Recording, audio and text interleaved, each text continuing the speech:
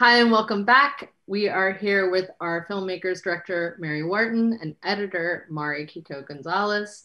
Welcome, ladies. Thanks for being here today. Absolutely. Thank you for having us. So, I want to start off with asking um, a question on how did you both first hear about this lost footage, and what were your initial thoughts when you did hear about it?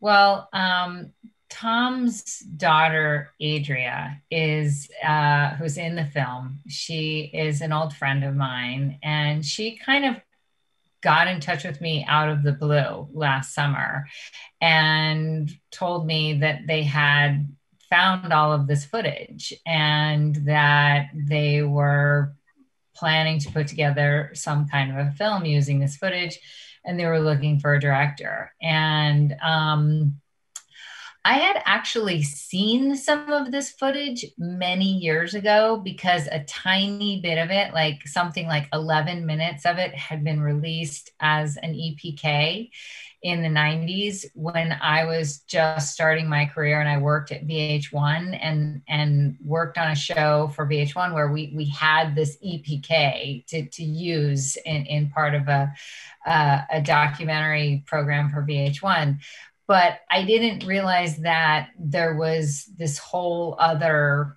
archive of stuff. Like I had seen little scenes, but there was another, you know, four hours of stuff. And and Adria told me that they were digging around in the vaults to see what else they could find that was just sort of related to this era. And to me, that was just like, I am such a, an archive geek that I, I just freaked out as soon as I heard about it. I was like, what? What? There's this Tom Petty footage that no one's ever seen. Are you kidding me? And, you know, it was also at a time during the kind of height of the pandemic where I wasn't really sure how I was going to be able to work. And, and, you know, it wasn't really feasible at that time to be shooting yet. And, and when this kind of opportunity presented itself to like, would you be interested in working on a documentary based on this archive? I was just like, let me at it you know it just i couldn't i couldn't believe how fortunate i was to kind of be in the right place at the right time to have an opportunity to i mean i would have been happy just to be able to look at the footage you know and let alone like do something with it. And um and you know one of the things mari and i have a history of we we made jimmy carter rock and roll president together a couple of years ago which also had a lot of like a, a, a lot of archive. And we kind of had this history of of figuring out like kind of how we both like to use archival materials and realize that we we like uh, we have a very similar approach to it. And so Uh, you know, my first call was immediately to Mari, like, Mari, you're not going to believe this, you know? Mari, what uh, did you think? Yeah, I mean, it was the best. Get Mary's like, what do you think about doing a Tom Petty film with all the 16 millimeter film footage? I'm like, wait, what? You know, it's like, of course, it's a it's a dream to be able to, you know, stumble across things like that. And we, you know, it's like we, talk about it too. We were we were actually just talking about um, there are a few other films that have that where this archival, you know, from long ago, it's like reappears. So it's like, how do you reimagine that? How do you, you know, tell the story now? You know, you know, in hindsight, with all this, you know, um, it's like I'm thinking about Amazing Grace. I'm thinking about how they found that footage from this iconic, you know, album recording and then made this whole other film about it. I mean, that's a purely a you know, a record, an album film, but this was similar insofar as like we had a lot of, of this film footage that didn't have necessarily sync sound and all of those other challenges, but it was incredible to be able to work with it with that material. Yeah. And we'll, we'll get back to that in a second because I have a, a question about that, but I also want to ask, you know, every filmmaker wants to do right by the story, I think, and, and obviously, uh, you were going to handle it with care no matter what but was there this extra weight knowing that the family had approached you to kind of craft this moment in time or into a film? Like what was what was that like? I mean, I think there's there was a lot of of um, from from my perspective, the weight was was kind of about you know wanting to do right by Tom, and he was always such a private person that I didn't know that much about. You know, even though I was friendly with his daughter, I honestly didn't know that much about his personal life you know, because he was so private. And I think that, you know, it was it was really wonderful that um, Adria was, you know, kind of she had a very uh, hands off kind of approach to, to letting us like, you know, it was like here's a bunch of footage you know do what you what you think is best with this. But we were able to kind of you know test things out on her a little bit and and i think that um you know she was so great about being honest about saying like you know i don't know what my dad would have said if he was here now to talk about this. And you know, she thought that maybe some of the pieces that we were using showed him in a little bit more of a raw, rough kind of um, uh, creative state than than maybe he would have necessarily been comfortable with if he was still here today.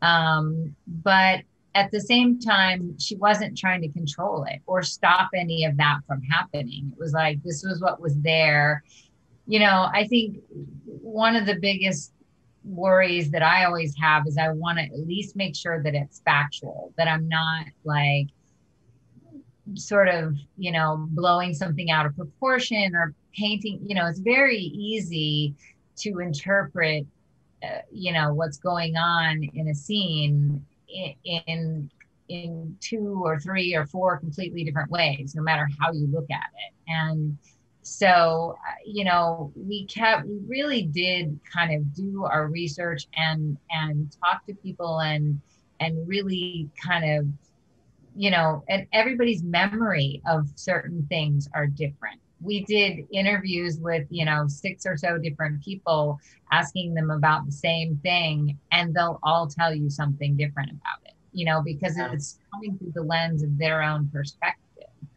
so um, and for so many years later, you know, so yeah. it's like you know that's that's what's challenging, and that's what's interesting too, Mary. Just something that you know you said before, and what we were talking about. What was so great about you know collaborating with Adria is it's true at the very beginning because of her relationship with Mary. Like she really, really trusted Mary to tell this story. I mean, when you think about it, Tom only he just passed away in 2017, you know, and this is her dad.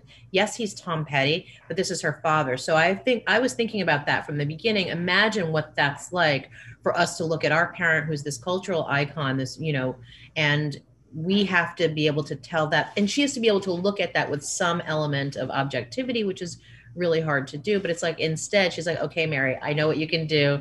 I know what you got. Like, I want you guys to have freedom. And she was very explicit about that at the beginning. And then Mary and I, something that we talked about that we felt was very important about that perspective and about those voices that she was just saying is that we wanted it to be only from that era right? Even though we had new interviews that we shot now, just insofar as Tom's perspective. I mean, because there's Tom Tom's interviews from before the album and way after, like you know, close up until the time that he passed away. So it's like when he's reflecting in 2016 and 2017, and his idea and his memories about the album are very, very different than right in that moment when he was discussing it, you know, in 1994 or 95. So we wanted to make sure that Tom's voice was very clean and clear in, in that period and in that frame of while things were so new. Um, so that was also something that was we were very mindful about. Yeah, I think it comes across because um, it, it, does. It feels like a time capsule, and that's mm-hmm. that's another thing I want to talk about too. But the the and you you kind of hinted on this as well. But I think you know digging into the footage, like because you had seen a little bit of it first, and then you're digging into more of it how what helped you to really contextualize it um, into creating this this moment? Like what else were you looking at as far as the archival material or interviews or you know what helped you kind of be in that bubble?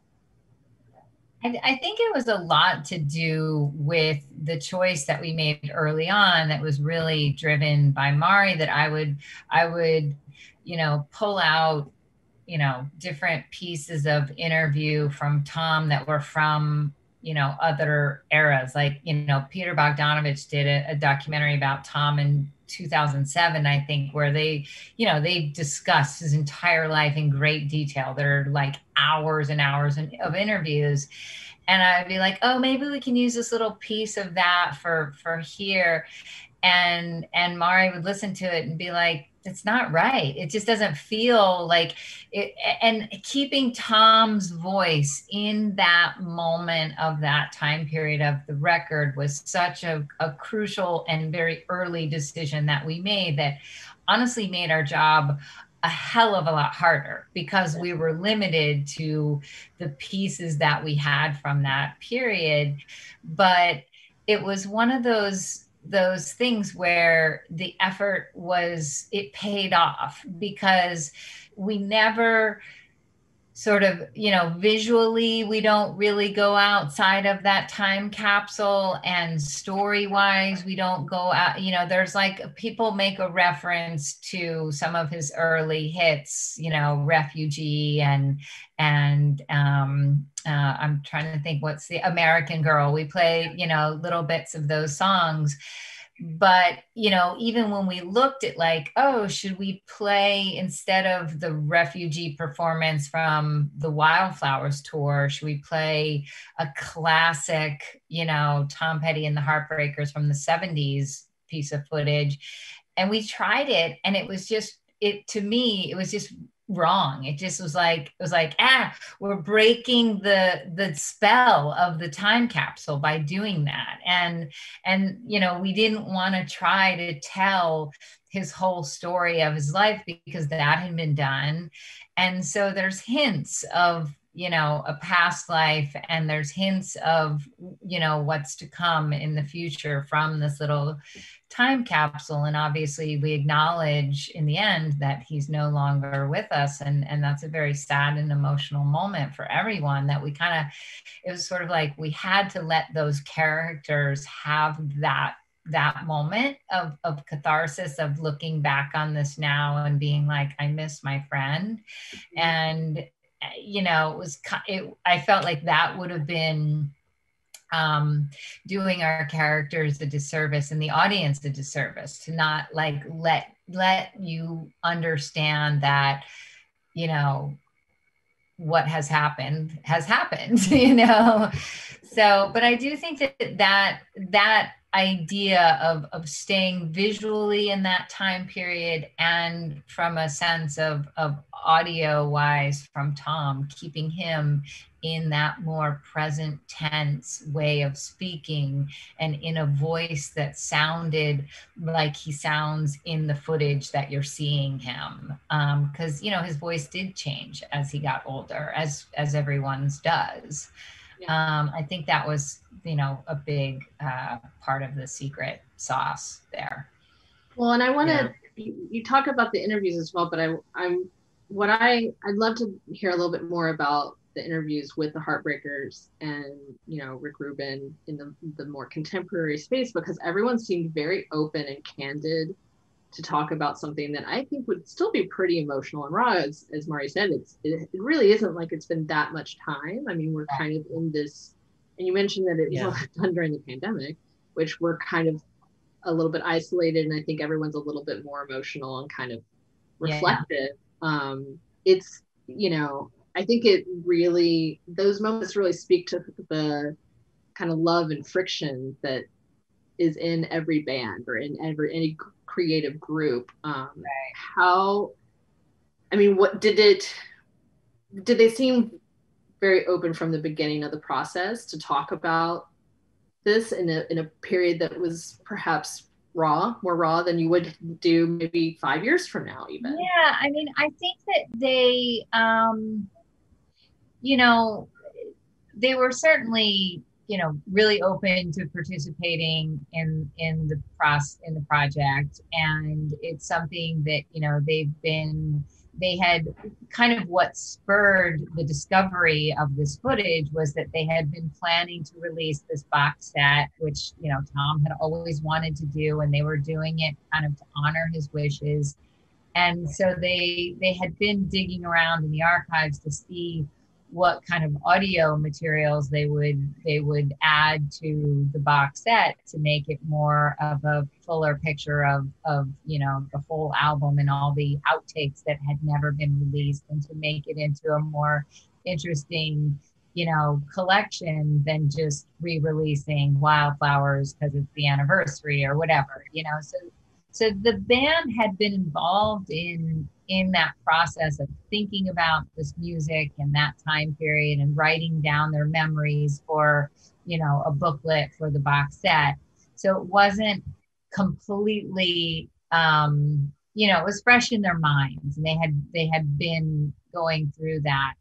But i think too it's interesting like with with people like you know Benmont Tench and, and mike campbell who have probably given a million interviews over the years. Yeah. And one of the things that is always a little bit of um, a challenge when you're it, when you're interviewing someone who's very sort of practiced at giving interviews and they have their memory of how they tell that particular story might even be stronger than their actual memory of the event that they're telling the story about. Like you just remember this is how I tell this story every time someone asks me about that moment. And so as as a filmmaker, your challenge is to kind of get them get let them get that out and then get around it and and get into other angles on it or other perspectives or just to like get them to kind of get beyond the practiced story and and really talk to you and this was really uh, a challenge to, to that it was even more challenging because of the pandemic where I was doing all of these interviews remotely. So it was kind of like this. It was like so you're pro. You're pro at this no, if I never do another Zoom, I won't be sad. But I have a feeling I'm going to be doing a lot more Zooms for a while. You know? But, yeah. Um, but yeah, I think that I think that what um, what I tried to do anyway is just show how much I how much respect I had for the material and and that I, I you know I wasn't um, you know I had done my research before I talked to them and and I had a lot of respect for them as as creative you know integral parts of of the Tom Petty um, you know music making process uh, and and I think that they could sense that and and I guess you know that that probably helps to when you feel like you're talking to someone who's you know challenging you to think about things in a new way maybe um, but with the utmost you know respect for for what you've done and and a genuine love of the music that you've created. And i think that you know that's something that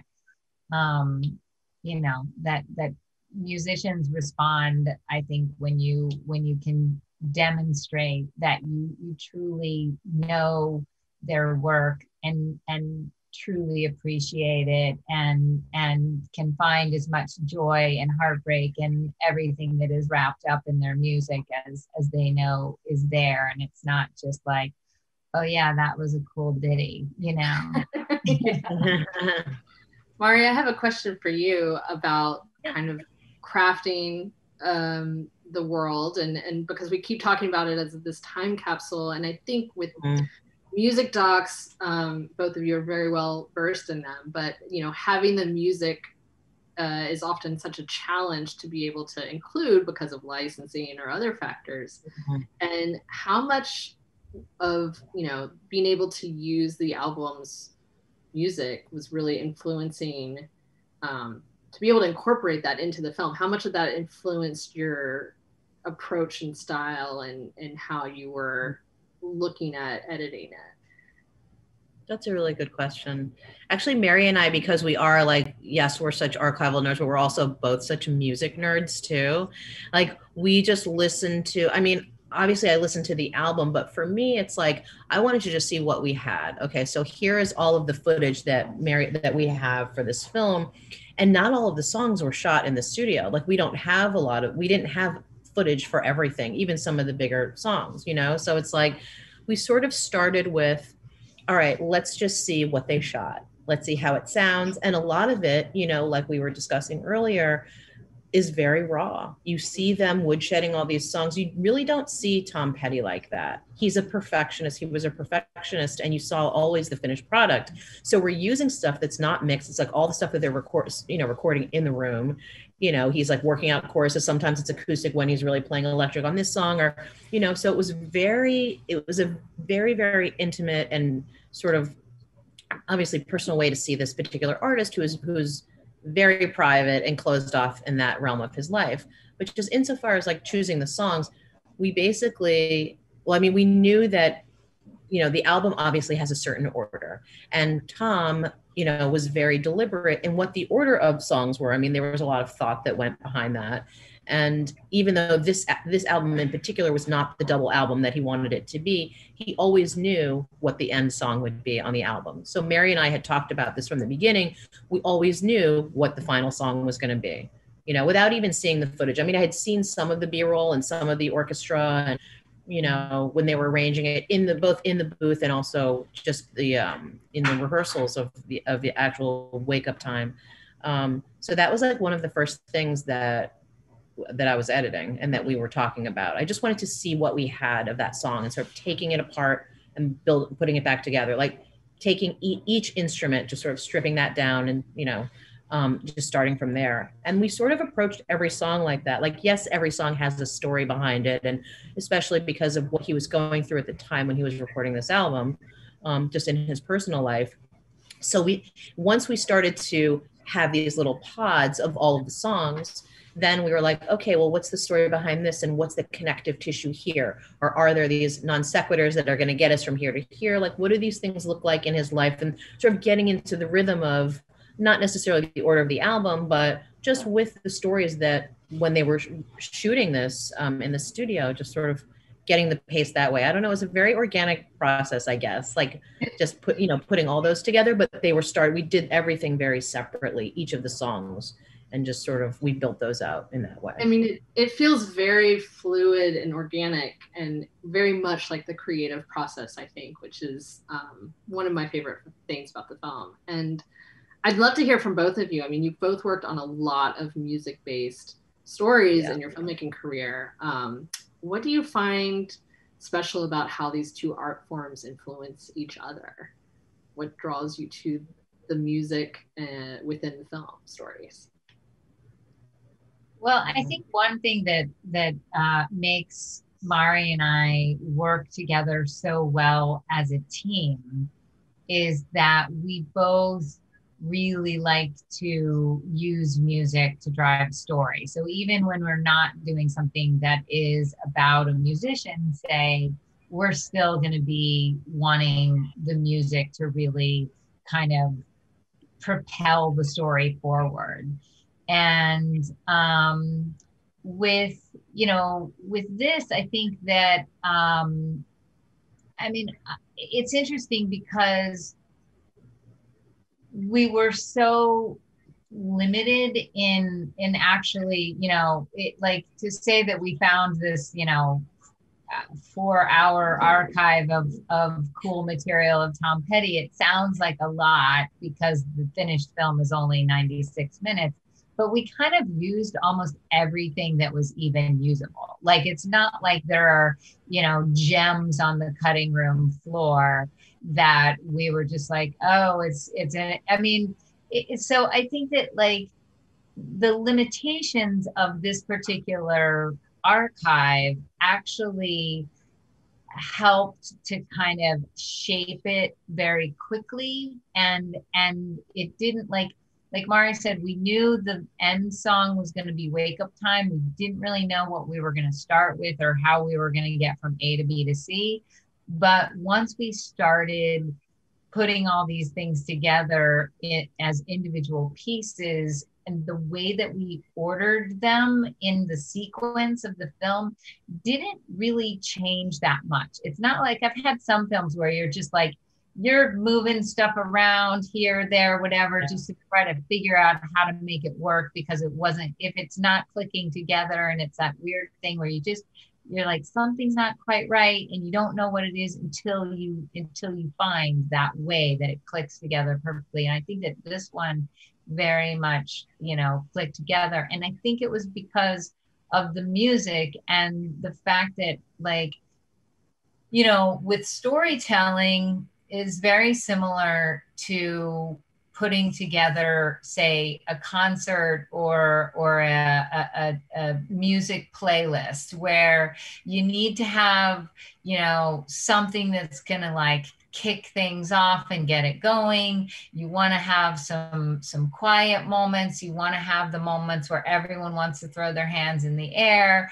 You you know as storytelling you want to you want to make people laugh you want to make people cry you know and and where those moments happen kind of have to flow in a way that's very similar to me to to like how you would sort of decide which songs come first, second, third in in an album. And I think that um, by sort of really listening to the music and letting letting the material sort of talk to us and tell us how it should you know like we, we we i think that mari and i are just both really good listeners you mm-hmm. know and um, i think that's what helps me as an interviewer but i think it's help, helps mari as a storyteller as well that she's a really good listener both like musically and story wise and and there is a lot of similarities i see like just from my limited understanding of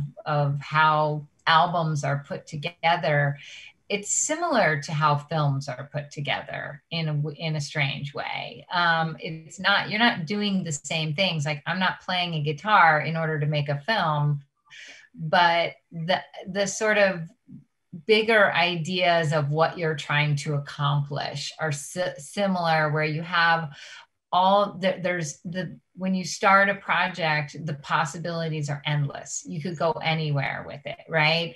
And you have to make choices along the way and every choice that you make influences what comes after it.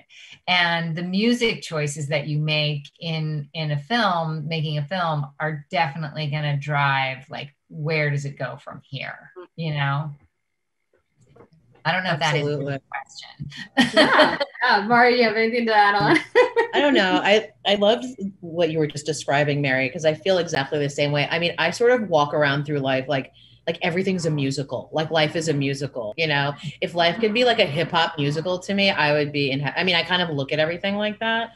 I'm very mm-hmm. like into hip hop, but um, but aside from that, how the film is, it's it's kind of it is exactly what you said, Mary. It's it, the songs sort of inform the story, not the album in the order per se, but you know when we were doing it. And I hate to sound like to say this, but it's true. It's like you have to just vibe it. You have to feel it, and you live with it, and you listen to it over and over and over, and watch it over and over and over, and you know all the feelings that it conjures, and then the stories of Tom's that it connected to and what was relevant with our subjects, with Adria, with Rick. You know, obviously we have a lot of things to, you know, had a lot of things to unpack there. You know, not just the songs in themselves, but what Tom was going through at that time, how we're going to weave those things in with still being appropriate and respectful to who he was as an artist. Um, but yeah just sort of it, it, felt like all of those things as we were doing them everything was like coming alive and that was sort of informing what we were going to say what his voiceover what that was going to be from the beginning and you know inextricably intertwined throughout tom while everybody else was in the present he was like stuck in this capsule like we've all been saying you know so um, I love music. I mean, anything that's music, whether it's just like a music documentary or even Car- like Carter, I feel like is a music doc, even though it's not. I mean, it is it's a music doc and music was its own character and yeah. you know gospel was like a big part of the narrative like that informed everything else so but even i don't know i just sort of i guess look at i don't know if you do mary i don't want to but i feel like we do like i just look at everything through a musical lens, you know. Yeah, yeah. So. Well, so I have one one final question for you both, which is um, if you can say what's your favorite song on the Wildflowers album after living with it for for as many months as you have, and what, um, if any, memory will you take from with you from this project? Oh my God, that is that's like that's like so voice. Like, how am I supposed to pick which? I mean, you know what? I feel like I love different songs for different reasons, but Wildflowers yeah. title track, you know, was the the song that in the very beginning before we started shooting or editing, I I had that song just sort of stuck in my head and I would hear it, you know, I would I would dream about it. It was and and you know, it was just kind of like the first thing that I listened to after I got off the phone with Adria the first time she called me was I played Wildflowers right away. And the song I hadn't heard it in a while and it was so beautiful that it it it actually made me cry just from its the the beauty of it and also like from feeling this this intense uh, gratitude that this song had come into my life at this moment. It was so and and so I, I think i'll always have like a special place in my heart for that song but i also really love like some of the like you know the outliers on the album that were you know a little bit outside of of the the, the overall vibe like like i love cabin down below Honeybee. and, and because they're just so fun and like they yeah. they sound so southern rock and and yeah. i love that sound and so you know that um but um yeah i think i think that those are those are my top three Mari. I mean, Wildflowers is such a perfect. Wildflowers is like one of those songs where you hear it. It's like this perfect song. It's one of those things that's just sort of like served up to you. I, I mean, the whole album is really beautiful, but I always go back to to find a friend. That song just kills me every time. I mean, I could listen to it a hundred times right now, and it's just just everything that he was going through. Like it's very sweet and melodic, but the word it's so dark. It's so sad. It's just like such a sad you know, it's all about change and what in midlife crisis and all these things that he was going through. It says so much, like it, you know, that song. So it's I don't know, it's my favorite. And just seeing them work through that song for, you know, yeah. um, I love that song. Yeah. I I will say on I I have a hard time picking just one, but I love yeah. I, Wildflowers is actually a song that I sing to my daughter at night for lullaby, Aww. and it has been for uh, since she was super small. But the whole album, I almost feel is like one piece. It's very hard for me to like single yeah. them out because they all like I just yeah. have very very distinct memories of listening to the whole album always like it's never just one song and i think that's yeah. what's really beautiful about it and i think that's what's really beautiful about the film is how you incorporate all of that together and um, i just want to congratulate you both on making a documentary during a pandemic and uh, making a really beautiful beautiful story as well. Um, so thank you so much for for being here and talking to us about uh, tom petty somewhere you feel free. Um, thank you for having us yeah thank you so thank much. you everyone yeah thank you everyone at home uh, for watching and please visit our website docs.afi.com for more opportunities to engage with the festival and watch more films and uh, we'd love to hear from you on social media at hashtag AFI Docs. Thanks again, everyone. See you next time.